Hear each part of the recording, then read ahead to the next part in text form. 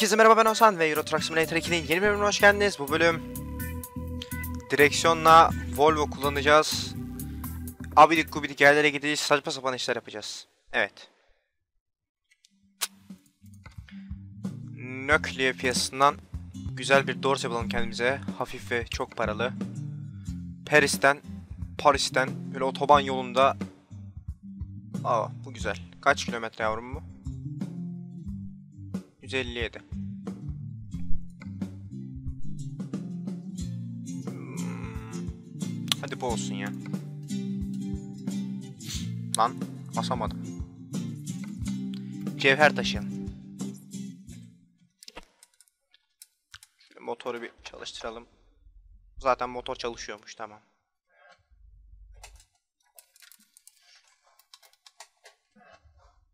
Lan dur boşalma tuşu. Tamam. Çok zor lan vites.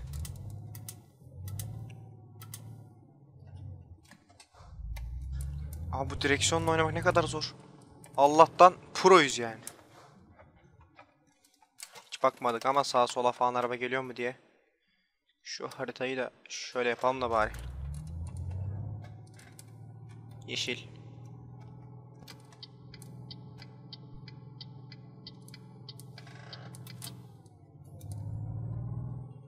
Vites yükseltmek için bile bekledim be. Hadi abi. Bilmiyorum size geliyor mu mikrofondan ama bayağı hani vitesler burada çatır çutur gidiyor yani. Direksiyonu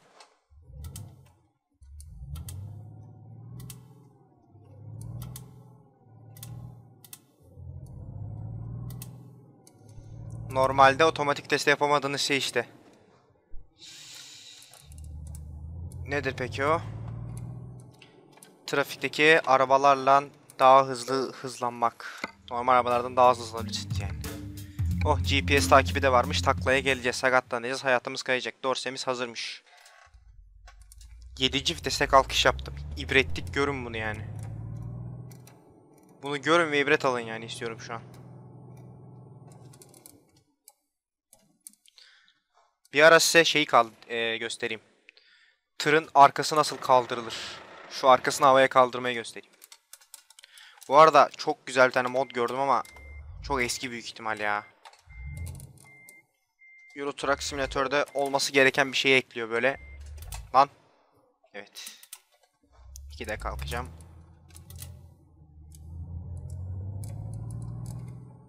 Güzel döndük. Euro Truck Simulator'da olması gereken bir şey ekliyor.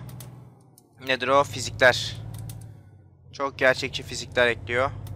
Kaza yaptığınızda falan aracın hayatının kaydını görebiliyorsunuz. Sağ taraf müsait. Hafiften şöyle bir pompalaya pompalaya. Direksiyon vantuzlu. Ben direksiyon yapısın diye böyle düz bir şeyin üstüne koydum. Ama siz bakın ki o düz şey çok fazla kıpırdıyor. Kardeşim ben senin bekleyeceğim ya. Ben senin bekleyeceğim ya bütün gün. Tırım senden hızlı gidiyorum ya. Sola sinyal vermek varsa biz de veririz yani. Sola sinyal vermek erkeksi biz de yaparız yani kardeşim. Herkes okluyum.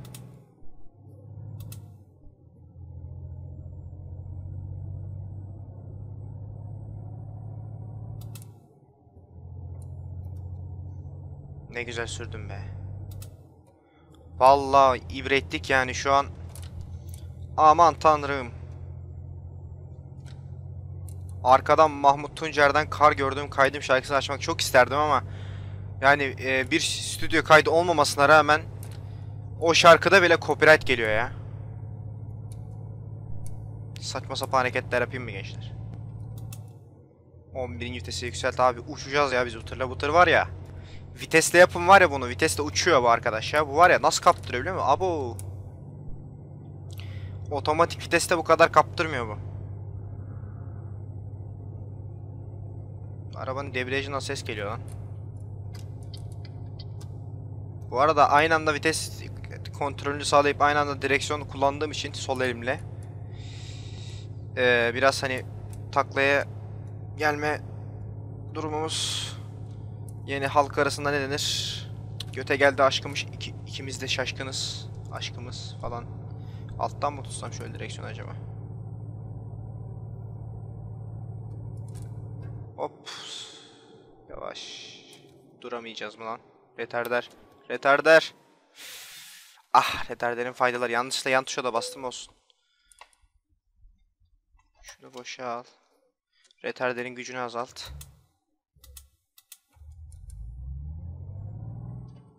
Paralı otobana giriş kapısı. Girelim yavrum girelim. Açıl.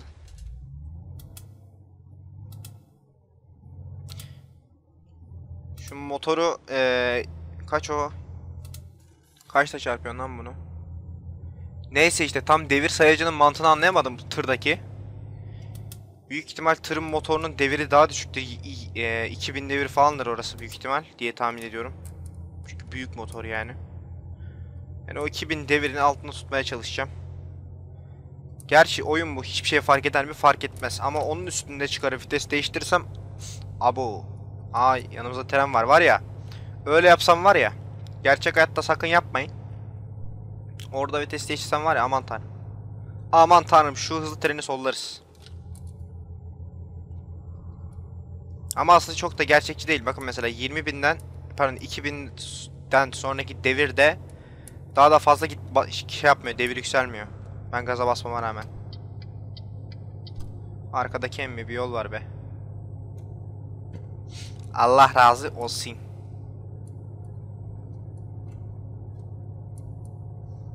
Arkadaki tonlarca dorseyle viraja böyle girerim sonuz. 125 de biraz dönmüşüm be.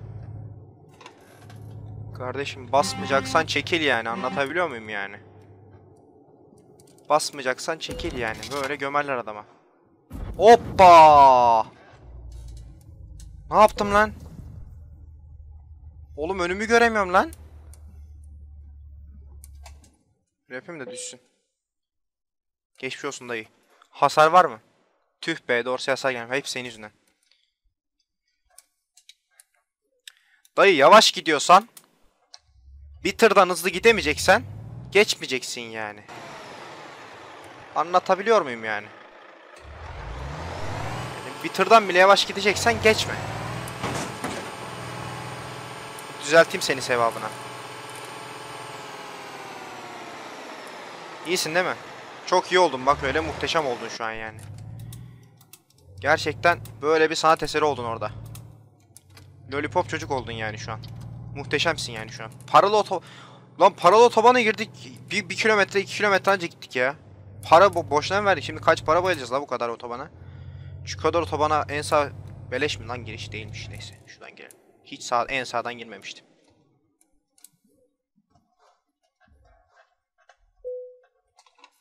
Ne? Hırsızlar 21 euro. Kaç ediyor lan? 64 65 lira falan. Hırkız bunlar.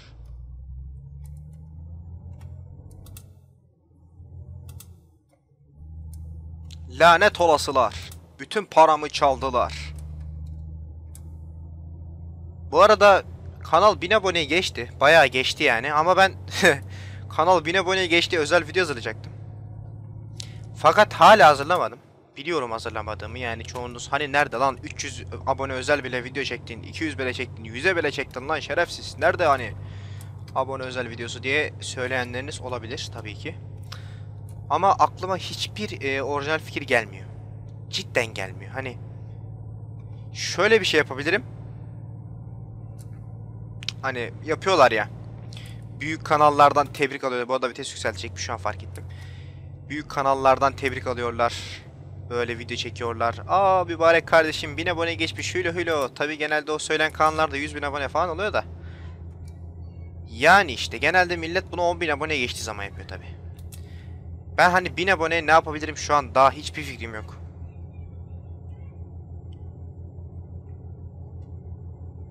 Dayı. Dayı. Ya geri zekalılar. Lan! Dur. Aa önüme şey yapıyor sandım. Hız sınırı ihlali kaza yapmadım o da etsen o kadar sıkışık yerde lan.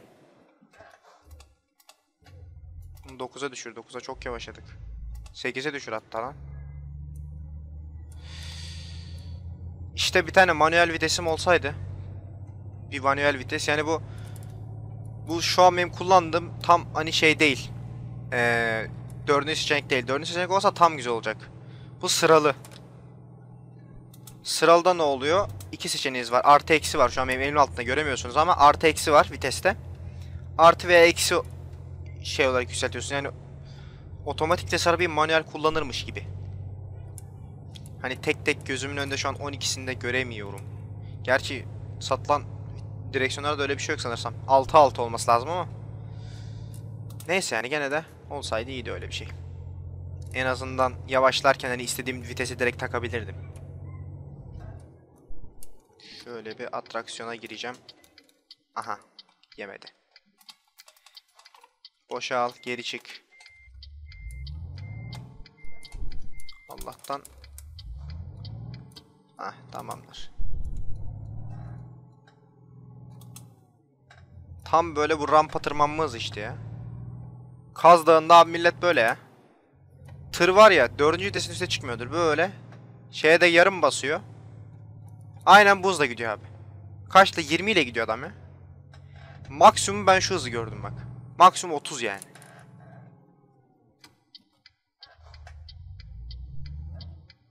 Şimdi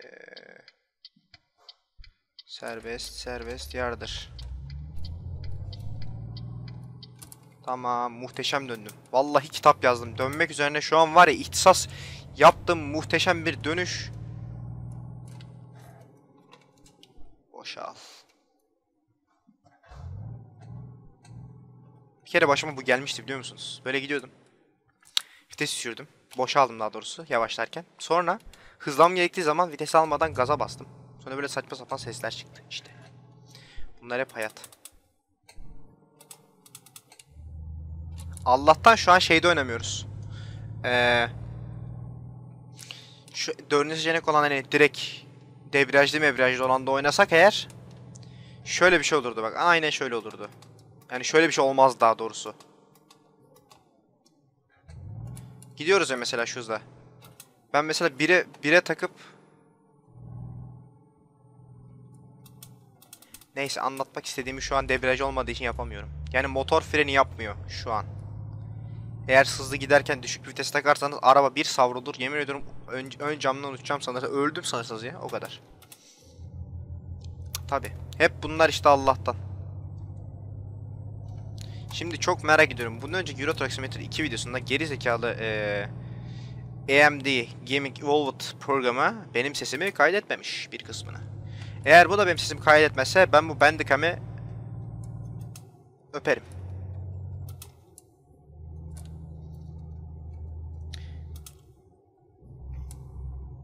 Yalnız insan belli bir süreden sonra bu Avrupa'dan sıkılıyor ya. Ben daha değişik haritalar falan indiresim var yani.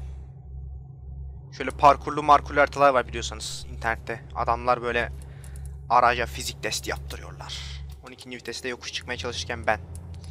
Tak en az 11. 92. Ondan sonra niye araç hızlanmıyor? Hızlanmaz tabi. Burada yapmış olduğunuz şey şu. Aa, Solla yavrum. Şimdi ö- örnek vereceğim bir saniye. Çok dik, çok dik. Yavaşla, vites düşür, yavaşla, vites düşür. Yapmaya çalıştığınız şey şu. Mesela eee nasıl diyeyim? Nasıl anlatabilirim ki ben bunu size şimdi? Evet, şöyle anlatabilirim. Mesela sizin sizin gücünüz olsun. Tamam mı? Allah ne sürttüm be. Hopa! Hoppa! Taklaya geliyorduk. Kurtardık bak. Ne güzel kurtardım valla. Dur şunu şeyini atayım. Üçte kalk. Gelme gelme. O arkadan gelmeden hızlanmamız lazım. O şu an takriben 75-80 ile geliyor. Bayağı yaklaştı şu an.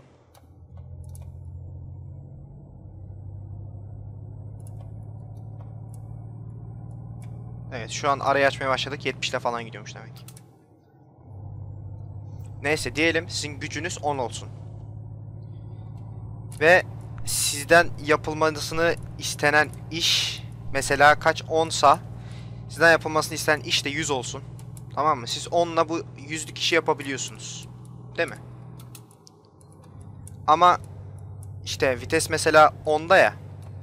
Gücünüz 10. Yapılması istenen iş 100 yani arabayı yokuştan yukarı çekmek 100 iş. Bunu yapabiliyorsunuz. Ama şöyle bir şey olursa eğer vitesi yüksel düşürürseniz sizin gücünüz 11 oluyor mesela 10'dayken. Yani 9'a indiğiniz zaman sizin gücünüz 11 oluyor.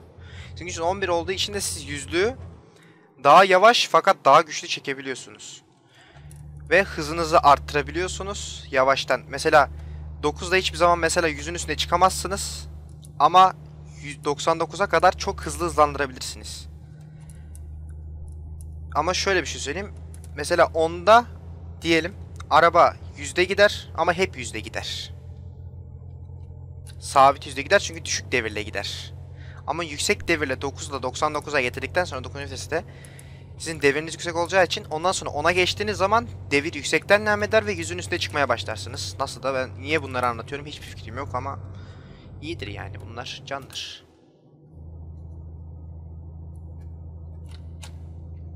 Anladınız herhalde ben düşünüyorum anladınız yani şu an. Aklıma da şey geldi. 2 milyar bağış yani yetmiyorum benim hani arabamın mazotuna yeteceğine yani. Bilmiyorum. Yeter mi? Kadın Euro Truck Simulator 2 bağımlısı olmuş herhalde. Buradan ben döner miyim abi? Vallahi ne döndüm ha. Of of of 110'la şey döndüm ha burada şu an. İbretlik hareketler bak. Sol şeritten gidiyorum artık niye sinyal verdiysem de o da bir garip zaten. 360 derecelik dönüşleri olan bir harita falan bulabilsek güzel.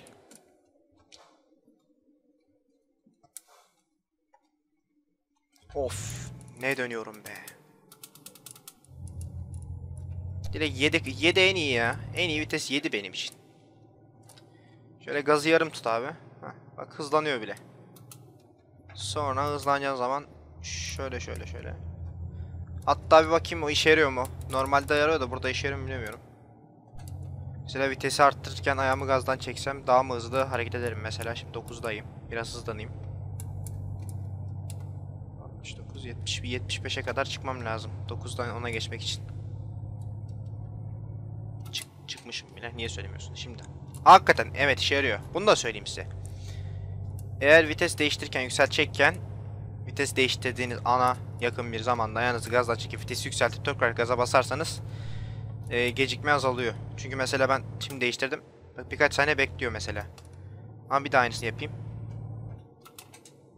Gördüğünüz gibi daha hızlı bir şekilde hızlandırabiliyorum diye tahmin ediyorum. Olmaya da bilir. Hiç de fikrim yok. Gerçekten. Neyse biz aracın içini inceleyelim biraz. Bakın araba böyle güzel. Hoppa. İşte. Boş boş bakmayın etrafa. Tır şoförüyseniz. Arkanızda tonlarca şey varsa. Dur bakacağım ona.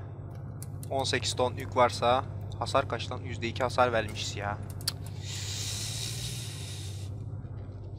Abi şu an ibretlik bir dönüş yaptım. Titreye titreye. Elim titredi, direksiyon titredi. Ha arabanın hayatı kayıyordu biraz önce ama olsun. Şu sağdan bir çılgınlık yapasım vardı da kaçırdım işte. Geç karar verdim yapsam mı yapmasam mı diye. Neyse kanal hakkında fark ettim ki ben her Euro Truck Simulator videosunda kanal hakkında konuşuyorum. Çünkü yol boş geçmesin yani. Bugün kanal hakkında konuşmayacaktım. Fakat şu an aklıma geldi. Ee, bizim o velet var yani bir tane. Hani size onu coşturun demiştim. Hop yanlış şeye bastım. Hani size coşturun dediğim bir tane velet var ya. Onu hala coşturmamışsınız. Bakın şimdi alındım ben yani buna. Şimdi bu velet kim? Hemen ufak bir özet geçeceğim. Hiç detaya girmeyeceğim. Daha önceki de anlattım zaten biliyorsunuz mevzuyu. Bir dislike'çı var arkadaş. Adam sanki benim için yaşıyor. Benim için yaşıyor ya adam. Vallahi bir yandan kendimi değerli hissediyorum. Adamın uykusu gelmiş. Bir yandan kendimi değerli hissediyorum. Bir yandan üzülüyorum. Bilmiyorum ne yapsam. Yokuş çıkıyorum 7. viteste aynı anda. Her yer şöyle yokuş olsa ne güzel olur ya. Böyle dik şehir. Bursa gibi olsa buralar falan. Dik dik böyle. Tırı zorlasak. Patinaj çeksek falan. Çok iyi olur. Böyle hep düzlük nereye kadar yani. Neyse dislike'çıyı bulun. Hayatını kaydırın yani. Aranızda botçu motçu varsa. Yazıktır abi. Her videoda diyorum. Neden beğenmiyorsan mübarek yaz. Altına yaz neden beğenmediğini. Neden dislike atıyorsun? Hem de her videoya. Atıyorum videoyu.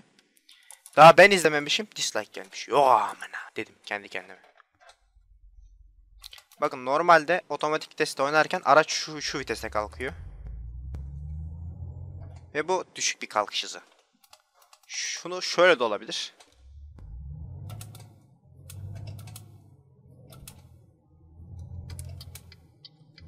Ve bu daha hızlı. Hatta daha da hızlandırılabilir. O daha hızlandırmak için o debriyajlı mevzu yapmak lazım. Direkt patinaj çektirebilirim yani ben orada.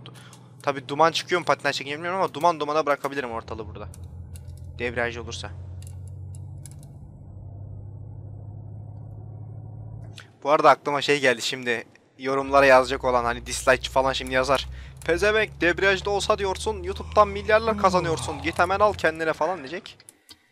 İşte o da başka bir YouTuber sorunu. Çoğu YouTuber'ın muzdarip olduğu konu zaten o. Geç yavrum geç geç. Yol mu vereceksin? Aferin sana gel. Belki de kırmızı yanıyordur bilmiyorum. Çoğu YouTube'un muzdarip olduğu konu. Mesela bir YouTuber Hoppa. Ne yaptım lan? Çok hızlandım. Mesela bir YouTuber arkadaş ne yapıyor? İşte ayda 1000 görüntülenme alıyor. Benim gibi mesela. Hani bir videodan. 1000 görüntülenme. Hadi 2000. Şimdi benim aylık görüntülenmem kaç? Şeyden de bakabilirsiniz zaten. İnternette bulunuyormuş. Bu şeyler. YouTube'da ne kadar izlendikleri falan yazıyormuş. Oradan bakın şimdi benim görüntülenmem kaç olsun? 1000 olsun mesela. Aylık. Bana o zaman aylık 1000 lira geliyormuş. Bundan benim haberim yok. yani bu iş yapan benim, bundan benim haberim yok abi. Araba sokamama keyfi. Bu sefer inat ettim. Ben bunu buradan sokacağım. Kasada kök demeyeceğim. Yavaş yavaş.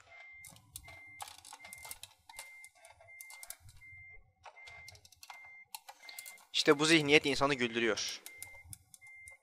O zaman orada 100 bin izlenen adam var yani. Kabul et hadi be. Orada 100 bin izlenen adam var. O zaman ayda 100 milyar mı kazanıyor? Şahsen 100 bin izlenen, ayda milyon izlenen kanal da var. O zaman o da 1 milyon kazanıyor. Falan. Çok saçma saçma işler yapıyorlar yani. Bak şimdi Mercedes'te var bunda yok. Geri vitesi hızlandırma var. Bunda takviye mi deniyor artık o geri viteste birkaç şey olmasına. Hiçbir fikrim yok. Arabayı düzlemem lazım. Tamam. Of of efsane mi geliyor? Bak arkaya bakmayacaksın aslında var ya. Arkaya bakınca dağıtıyor insan.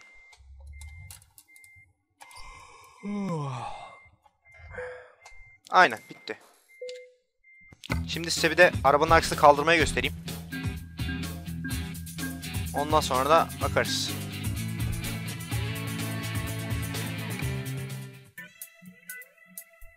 Bir şey kalmamış ki oğlum. Bu oyun da bir garip ya. Kafayı yedi son zamanlarda. Heh.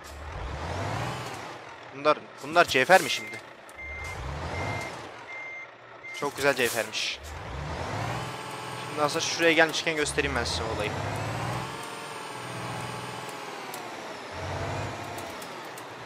Yedi ideal bir hız. Bakın şimdi. Biraz kalktı bu sayılmaz. 50-60 kilometre hızlanıyorsunuz abi. Ah bu güzel oldu bak. Son bir kez daha yapayım videoyu bitiririz artık. Neyse izleyiciler beğenmeyi unutmayın. Kanalımıza abone unutmayın.